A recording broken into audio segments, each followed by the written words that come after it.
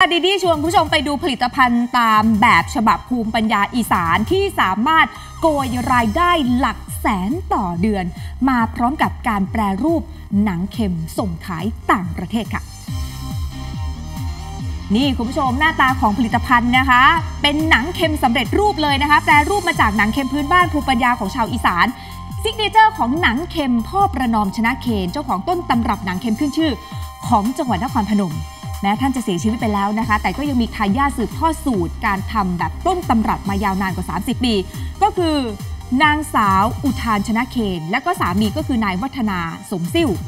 สำหรับหนังเค็มนะคะหรือว่าหนังควายเค็มพ่อประนอมเนี่ยมีจุดเด่นก็คือทำจากหนังควายเค็มที่คัดเกรดมาอย่างดี น้ำหนักก็จะต้องมีประมาณสัก 40-50 กิโลกรัมนะคะอายุของน้องควายเนี่ยก็ต้องไม่แก่ แล้วก็ไม่อ่อนจนเกินไปนะคะ อายุประมาณสัก 7-8 ปี ก็จะมีราคาซื้อขายหนังควายดิบอยู่ที่กิโลกรัมละ 40-50 บาท ส่วนการทำเป็นเส้นเนี่ยจะต้องผ่านการสับตามภูมิปัญญาของชาวบ้าน คือเส้นเนี่ยจะต้องใหญ่มาตรฐานนะคะ แล้วก็ต้องเส้นนอกจากใหญ่มาตรฐานแล้วมันต้องมีความเสมอกันด้วยคุณผู้ชม เพื่อทนต่อการเผาไฟทำให้ไม่หดนะคะ ก็จะมีส่วนผสมเพียงแค่เกลือกับรำอ่อนเพื่อให้ มีสีสวยงามแล้วก็มีกลิ่นหอมขึ้นมา เสร็จแล้วก็นำมาย่างไฟรมควันไล่ความชื้น ตัดปัญหาเรื่องกลิ่นไม่เน่าเหม็นทำให้เก็บได้นาน ขายในราคามัดละนะคุณผู้ชมประมาณ 100 บาท คือในแต่ละมัดนะมีประมาณสัก 13 เส้นเนี่ยคุณผู้ชมเขากำลังจะมัดขายแบบนี้นะคะ นายวัฒนาทายาทหนังเค็มพ่อประนอมเล่าให้ฟังว่าปัจจุบัน ตนเองและภรรยาได้แปรรูป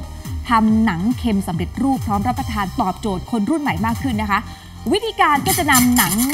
เค็มแบบเส้นเนี่ย นะคะ มาจี่ไฟทุบเอาส่วนไม่เกรียมออก ขั้นตอนนี้เนี่ยจะต้องละเอียดแล้วก็ใจเย็นหน่อยนะคะ คุณผู้ชมคะเพื่อให้ส่วนที่ไหม้เนี่ยมันออกไปให้หมด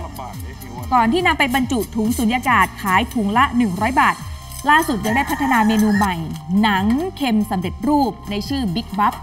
คล้ายกับแคบหมูนะคะ แต่ว่าทำจากหนังควายเส้นนำมาเผาแล้วก็นำไปแช่น้ำก่อนนำไปทอด แล้วก็บรรจุถุงขายถุงละ 50 บาท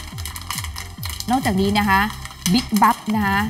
หนังเค็มสำเร็จรูปตอนนี้เนี่ยกำลังเป็นที่นิยมอย่างมากเลย เพราะว่าสะดวกในการรับประทานแล้วก็เก็บได้นานด้วยคุณผู้ชมพกพาก็สะดวกส่งขายทั้งแบบออนไลน์ในประเทศ และต่างประเทศอย่างสหรัฐอเมริกา ออสเตรเลียก็สร้างรายได้หลักแสนบาทต่อเดือนคุณผู้ชม นี่นี่หน้าตาคล้ายๆ แคบหมูเลยคุณผู้ชม นี่คือบิ๊กบัฟนะหนังเค็มสำเร็จรูปถือเป็นการเพิ่มความสะดวกในการบริโภคให้กับลูกค้าเพียงแค่ ไปแช่น้ำให้มันนุ่มอะค่ะคุณผู้ชม แล้วก็หั่นเป็นชิ้น ก็สามารถนำไปปรุงเป็นเมนูอีสานได้สารพัดเมนูแล้ว ใครสนใจติดต่อสั่งซื้อตามช่องทางที่ทีมงานของเราขึ้นได้บนหน้าจอนะคุณผู้ชมนี่เวลาเอามาต่อยอดเป็นเมนูอาหารมันก็จะแบบน่าอร่อยแบบนี้เลยนะคะใครเคยรับประทานหนังเค็มบ้างคุณผู้ชมเขียนคอมเมนต์ส่งมาหน่อยนะคะ ว่ารสชาติเป็นอย่างไรดีๆ ก็ยังไม่เคยรับประทานเลยนะคะ